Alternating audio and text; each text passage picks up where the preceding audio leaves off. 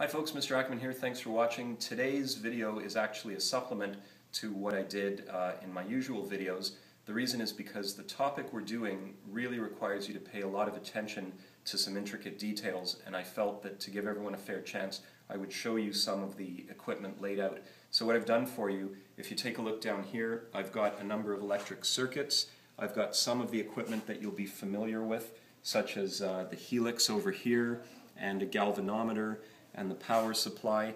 Uh, however, some of the stuff is new. For example, this one here you've never seen before, although the coils look somewhat familiar.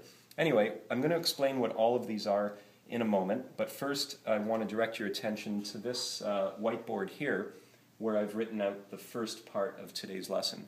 So the topic is electromagnetic induction, and you would have read about this in your textbook. Also, I've already done a video on it, so make sure you refer to that. I'd like to draw your attention to a diagram that's from your textbook. It shows a power supply connected with a switch and a coil wrapped around an iron core, or an iron ring as the book calls it.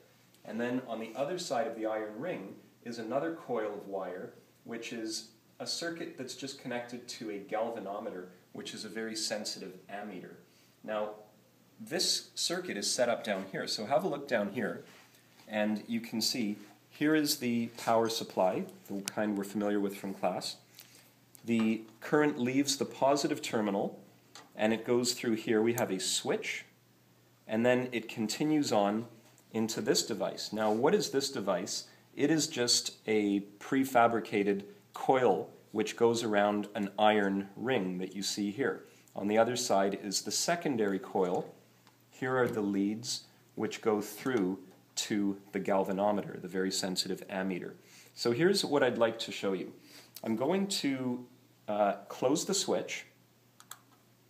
Actually, sorry, I'll open the switch. I'm going to turn on the power, and what do you think will happen? Probably nothing's going to happen because the switch is open, and sure enough, nothing spectacular happens. If we look at the reading on the galvanometer here, you can see it's at zero microamps, zero millionths of an amp. So we know there's no current flowing. Now what I'm going to do back over here, and it's going to be hard for you to see all of this at once, so I'll repeat it if you miss anything. I'm going to close this switch, and then we're going to take a look at what's going on over there. So ready?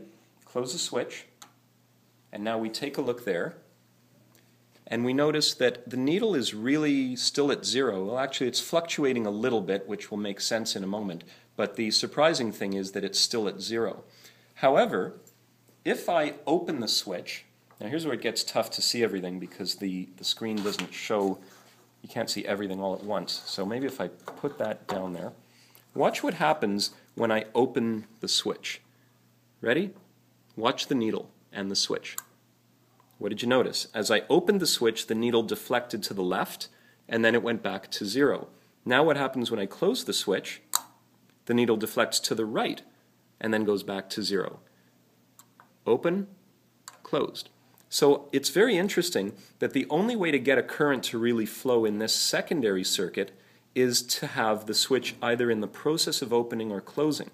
Now, you may notice that the needle's fluctuating even though the switch is closed. That's because the power supply here is actually not so stable. It does have a slight variation in voltage, and therefore it is, due to its functioning, basically behaving as if it's going on and off. That's why you see a little bit of fluctuation here. Okay, so here's something else I'd like to show you. I'm going to turn off the power for a moment and I'm going to disconnect the leads here. Notice these numbers, 220 and 110. That actually means that there are 220 wrappings or turns of wire here. There's only 110 there. The ratio is 2 to 1. So here's how we had it set up the first time.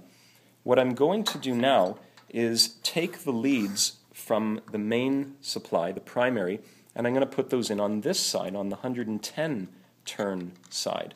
And I'm going to put the secondary circuit that has the galvanometer into the other side with the higher number of turns. Now, what I'm going to do is turn on the power and start playing around with that switch Ready? Can you see both? Okay. Watch what happens this time to the current. you should be noticing that the needle is deflecting much more than it did last time. And the reason for this is because this time the primary circuit has a smaller number of turns, 110, than the secondary. So now let's wrap up with some observations. Back to the whiteboard here. What is going on? The current flows in the secondary circuit only if the voltage and the current are changing. So what is the analysis? You need a changing current in the primary circuit in order to get the magnetic field in the primary to change. Remember right-hand rule number two. If a current is flowing, there is a magnetic field in a helix. Well, the iron core sends that magnetic field around to this side, so that the changing current in the primary results in a changing magnetic field in the secondary. That changing magnetic field induces a current to flow in the secondary, which we register with the galvanometer. All right? Interestingly, the ratio of the number of turns n in both circuits gives you a difference in induced current. And these formulas are in your textbook, so I encourage you to take a look at electromagnetic induction and to find out what exactly they are. I did mention them in my previous video. Now, let's take a look at another setup, which is over here on this side. This time we have a helix once again, and I've got a permanent magnet, a bar magnet, which is just sitting here. Now, if you take a look at the galvanometer, the sensitive ammeter, you'll see the current is zero. And so what I'm going to do is I'm going to take the magnet here and I'm going to insert it into this end of the helix. And I want you to try to watch what happens to the galvanometer needle. It may be difficult to see both of these at the same time, so let's give it a try. Right now I'm inserting the north, and you see the needle deflect. But now the, magnet, the magnet is just sitting there, the needle stays at zero. When I remove the magnet, the needle deflects the other way. I don't know if you saw that, so I'm going to try it again. Uh, the North Pole is now being inserted, and the needle deflects. The North Pole is now sitting stationary, there's no deflection. The North Pole is now being removed, and the needle goes the other way. So what you find is that it's not a magnetic field that causes a current, because look what I can do over here. If I just leave the magnet sitting in here, then if we go over to the galvanometer, there's no current. However, what I'm going to do now is I'm going to pull the magnet out, and I want you to watch that needle. You see the needle deflect. Now I'm going to put the magnet in. You see the needle deflect again. It's a changing magnetic field. And that is what happened over here in the electric example that I did with an electric circuit. Changing electric currents resulted in changing magnetic fields, which induced currents in the secondary circuit. All right? Now let's take a look at the circuit here in detail. I'd like you to just focus in on what's actually happening here. When I insert the north, the needle deflects to the positive side. Okay, I'll show you that one more time. North being inserted, needle deflects to positive side. Uh, sorry, don't know if we caught that on video. We'll try one more time. North being inserted, needle deflects to positive side. So what does that mean? Well, you notice that this is the positive terminal of the galvanometer. That means current entered through here and it came out the negative. In other words, by taking this north and inserting it, I caused a current to flow this way. Now, if we follow the wires in this helix, what do we notice? The wire over here, coming up the back, is the wire leading to these. So in other words, I got current to flow up the back and into this wire and into the galvanometer.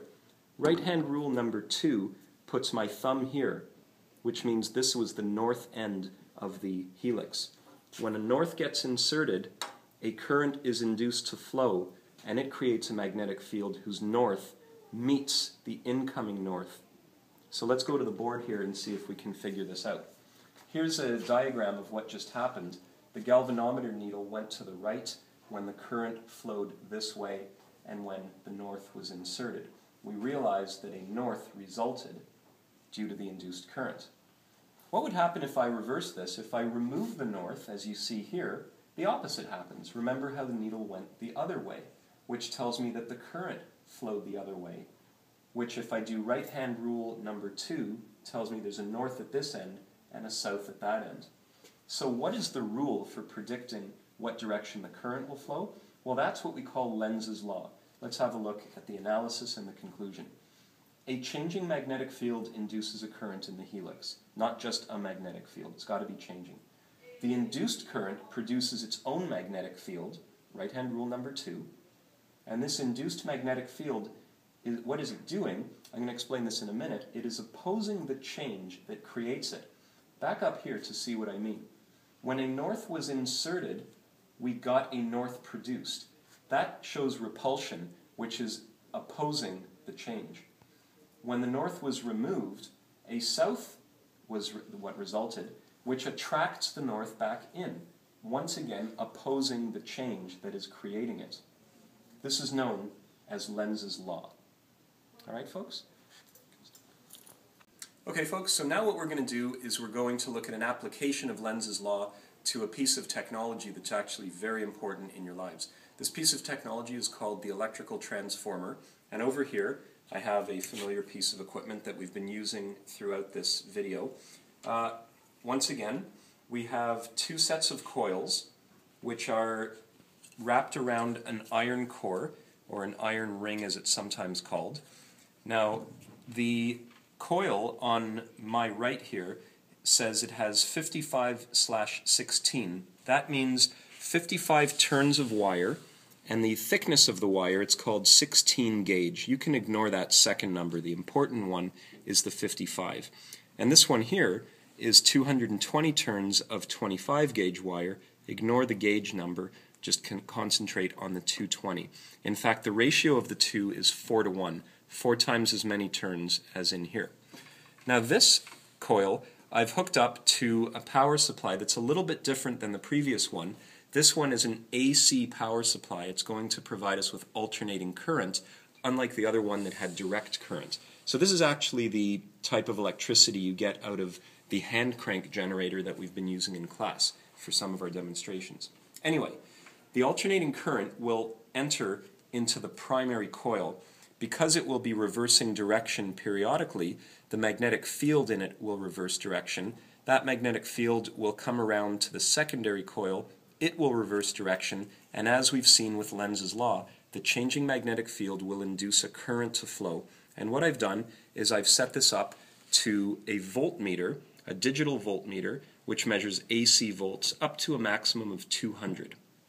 So, are you ready? I'm going to turn this on, and I want you to observe the voltage on the power supply and compare it with the voltage in the secondary coil. Here we go. So let's get a decent voltage going there. There's a, about 5 volts across the primary, 4.7, 4.8. What do we have in the secondary? You'll notice that there is 11.2. Make sure you can see that decimal there. In other words, the voltage has gone up. The reason the voltage has gone up is because the number of turns in the secondary is larger than in the primary. Now, if I turn off the power and I reverse this situation, so I unplug the primary, unplug the voltmeter, and now what I'm going to do is make this the primary with 220 turns, and I'm going to move this over here, so this becomes the secondary, at only 55 turns, now the ratio is lower, four times lower. Let's watch what happens. The voltage is now a little higher in the primary at 10, 10.2, and notice that the voltage has dropped in the secondary to just 1.6.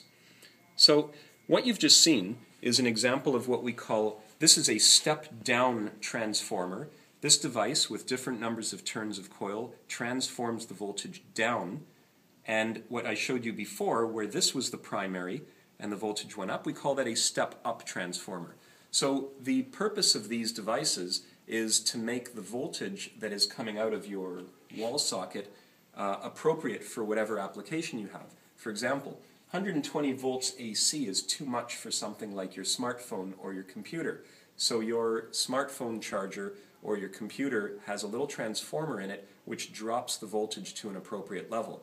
On the other hand, as you've read in the textbook, there's a sample problem in one of the chapters where they talk about how the electricity company generates electricity, and what they do is they step up the voltage to around 500,000 volts. That's the voltage of those overhead power lines you see when you're driving along the highway. You see them on those, uh, those metal towers. The reason the voltage goes so high is because, as you'll see in that problem, when the voltage goes up, the current goes down. And remember, power equals voltage times current. Well, power, which is related to energy, must be conserved. So back to the transformer here, when the voltage goes up, the current goes down, and therefore the total energy is conserved.